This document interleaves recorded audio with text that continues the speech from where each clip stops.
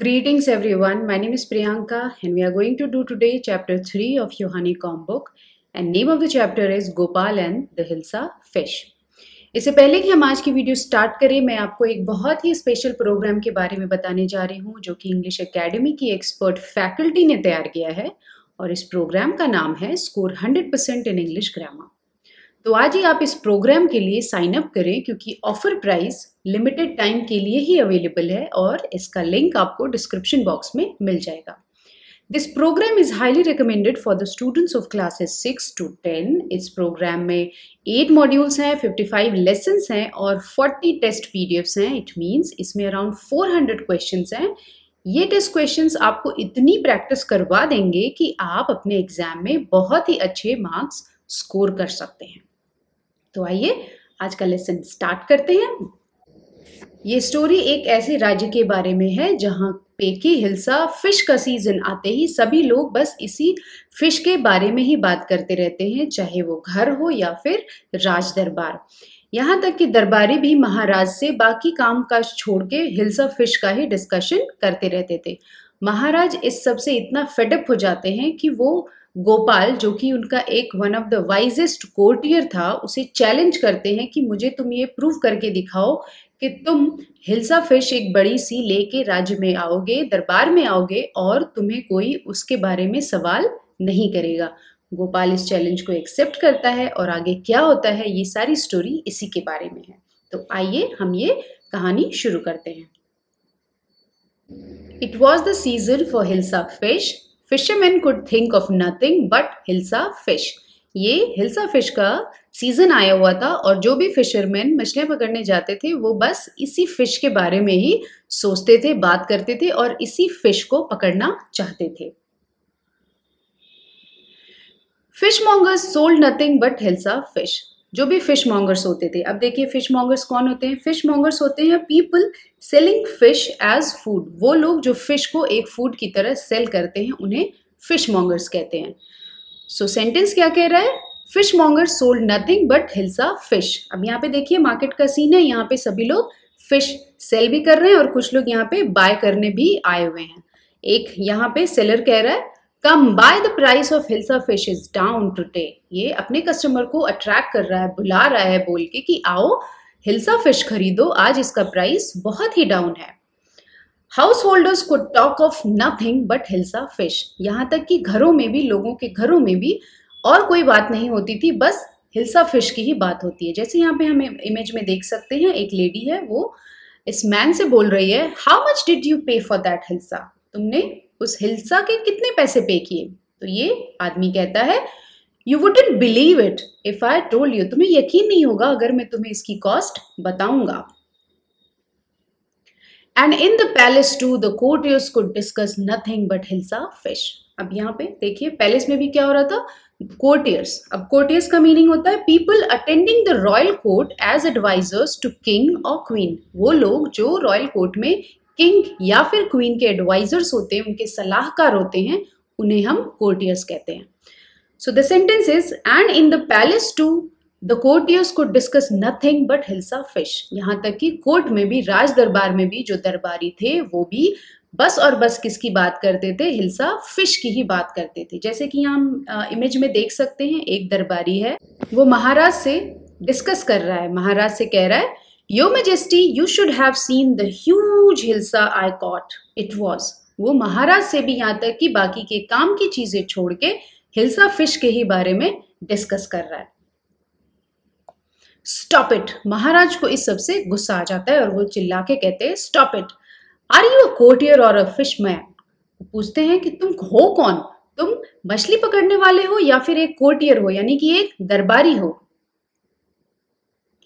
The courtier fell silent with downcast eyes the king felt guilty यहाँ पे इस line में एक वर्ड आया है डाउनकास्ट इसका मीनिंग होता है आईज लुकिंग डाउनवर्ड्स अगर हम आँखें नीचे करके देखते हैं, नीचे, उसे हम कहते हैं downcast so the courtier fell silent with downcast eyes the king felt guilty courtier चुप हो जाता है और अपनी आँखें नीची कर लेता है।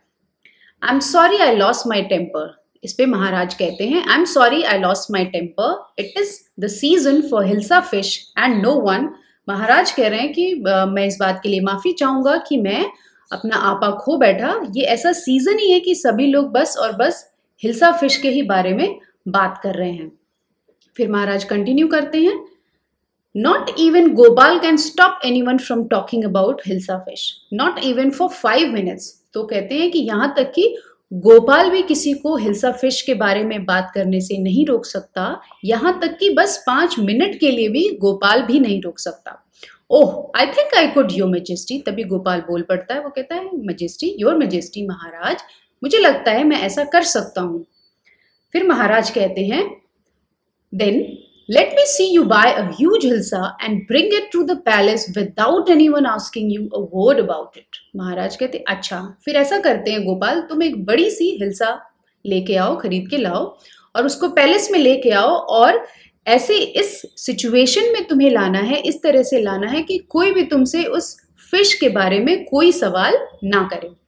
तो गोपाल कहता है, ये गोपाल है यहाँ पे। ये कहता है I accept the challenge your majesty महाराज, मैं आपका चैलेंज एक्सेप्ट करता हूँ। A few days later challenge accept करने के कुछ दिन बाद गोपाल के घर में, गोपाल की वाइफ गोपाल से सवाल करती हैं why is your face half shaven आपके फेस पे आधी शेविंग हुई है और आधी नहीं, ऐसा क्यों? तो गोपाल यहाँ पे रिप्लाई करते हैं I am dressing up to buy a fish मैं एक फ़िश खरीदने के लिए तैयार हो रहा हूँ. वो फिर से सवाल करती हैं गोपाल की wife what's the matter with you क्या चल रहा है? क्या मामला है? Why are you smearing yourself with ash यहाँ पे जो टर्म है स्मेरिंग इसका मतलब होता है कोट और मास something messily or carelessly with a greasy or sticky substance अपने ऊपर कोई भी चीज़ कोट करना, किसी भी ग्रीसी सब्सटेंस के साथ केयरलेसली लगाना, उस प्रोसेस को हम स्मेरिंग कहते हैं। तो वो सवाल करती हैं why are you smearing yourself with ash तुम अपने आप पे एश यानी कि राख क्यों लगा रहे हो? तो गोपाल आंसर करते हैं I told you I am dressing up to buy a hilsa fish मैंने बताया ना, मैं हिल्सा फ़िश खरीदने के लिए तैयार हो रहा हूँ। जब अपने ऊपर राख लगा के गोपाल बाहर जाने लगते हैं तो उनकी वाइफ उन्हें पीछे से आवाज़ देती हैं, कहती हैं listen to me please you can't possibly go out in those disgraceful rags what are you up to वो कहती है, मेरी बात सुनो please you can't possibly go out तुम नहीं जा सकते हो in those disgraceful rags disgraceful का मतलब होता है शॉकिंगली अनएक्सेप्टेबल मतलब कि जो सोसाइटी में अनएक्सेप्टेबल है वो रैग्स का मतलब होता है ओल्ड एंड टॉन क्लोथ्स पुराने और फटे कपड़े। तो वो कहती हैं, तुम इस डिसग्रेसफुल अपियरेंस में और पुराने और फटे कपड़े पहन के बाहर नहीं जा सकते हो। What are you up to तुम करना क्या चाहते हो? गोपाल फिर आंसर करते हैं, कहते हैं how many times must I tell you woman I am out to buy a huge hilsa of lady मैं तुम्हें कितनी बार बताऊँ कि मैं जा रहा हूँ एक बड़ी सी हिल्सा फ़िश खरीदने। फिर गोपाल की वाइफ सोचती है जब गोपाल निकल जाते हैं घर से बाहर। It is happen to him he is gone mad क्यों? गोपाल को कुछ हो गया है, वो पागल हो गया है। Gopal bought the hilsa fish and started walking towards the palace hilsa fish खरीदने के बाद गोपाल महल की तरफ़ चल पड़ते हैं। तभी एक बच्चा यहाँ पे देखिए पिक्चर में। एक बच्चा बोलता है, mother look at that man is it he comical comical का मतलब होता है कॉमिकल जो टर्म यहाँ पे यूज़ हुआ है, इसका मतलब होता है कॉजिंग लाफ्टर जो भी, जो चीज़ जो कि मजाकिया हो, जिससे लोगों को हँसी आए। तो बच्चा अपनी माँ से कहता है, mother look at that man is it he comical वो बहुत ही मजाकिया लग रहा है है ना?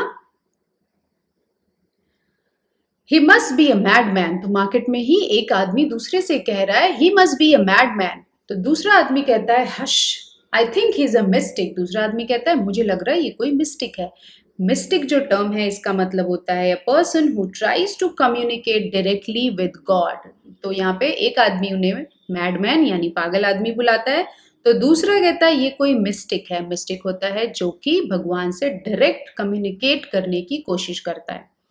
When Gopal reach the court तब गोपाल जब दरबार में पहुँचते हैं तो एक दरबान पूछता है उनसे वॉट डू यू वॉन्ट तुम क्या चाहते हो? तो गोपाल रिप्लाई करते हैं I want to see the king मैं महाराज से मिलना चाहता हूँ। तो दरबान कहता है, यहाँ पे देखिए दरबान, ये कहता है you can't see the king get away with you तुम यहाँ से जाओ, तुम महाराज से नहीं मिल सकते. Gopal began to dance and sing loudly Gopal फिर क्या करता है इस पे? वो ज़ोर ज़ोर से गाने लगते हैं और नाचने लगते हैं, डांस करने लगते हैं। आप देखिए, यहाँ पे सब शौक होके गोपाल को देखने लगते हैं। और इनसाइड द पैलेस महल के अंदर क्या हो रहा होता है? महाराज ये सब सुन रहे होते हैं। The man is crazy throw him out at once I want to see the king let me in यहाँ पे दरबान कह रहे होते हैं एक दूसरे से द मैन इज़ क्रेजी ये आदमी पागल है। दूसरा कहता है throw him out at once इसे तुरंत यहाँ से बाहर फेंको। लेकिन गोपाल क्या कह रहे होते हैं वो कहते हैं I want to see the king let me in मैं महाराज से मिलना चाहता हूँ मुझे अंदर जाने दो। महाराज जब ये सब सुन रहे होते हैं तो कहते हैं bring that man to me at once उस आदमी को तुरंत मेरे पास लाया जाए। सो so, यहाँ पे ये आ, उनका जो अटेंडेंट है वो कहता है यस यू मेजेस्टी अटेंडेंट कहता है जो सेवक यहाँ पे खड़ा है वो कहता है जी महाराज हम ले आते हैं। Gopal was brought before the king Gopal को महाराज के सामने लाया गया। तभी एक दर, दरबारी जो यहाँ पे है आप देख रहे हैं यहाँ पे सारे दरबारी खड़े हुए हैं। सो so, एक दरबारी पहचान जाता है कहता है इट्स गोपाल ये तो गोपाल है। जब इस हालत में गोपाल पहुँचते हैं दरबार में तो दरबारियों में कानाफुसी होने लगती है वो आपस में बातें करने लगते हैं। एक दरबारी कहता है the man has lost his mind ये आदमी अपना दिमाग खो चुका है। तो दूसरा दरबारी कहता है I think it's one of his crazy jokes मुझे लगता है ये उसका कोई फनी जोक हो सकता है। फिर महाराज गोपाल से सवाल करते हैं all right Gopal out with it why are you dressed up in this ridiculous fashion ridiculous जो ये टर्म है, इसका मतलब होता है एक्सट्रीमली सिली इसका मतलब बहुत ही ज़्यादा फनी या फिर मजाकिया। तो महाराज कहते हैं कि, गोपाल, तुमने ऐसे मजाकिया कपड़े क्यों पहन रखे हैं?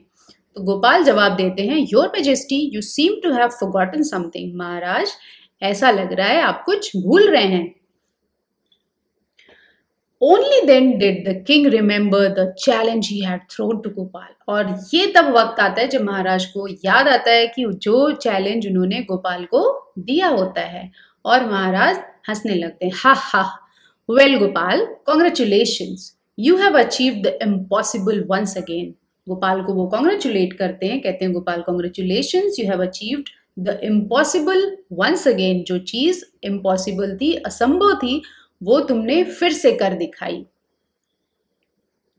That was all for this story but before I take your leave I would like to remind you once again कि इंग्लिश अकेडमी ने एक बहुत ही अच्छा प्रोग्राम लॉन्च किया है, जिसका नाम है score 100 percent in English grammar currently ये बहुत ही स्पेशल ऑफ़र प्राइस पे अवेलेबल है।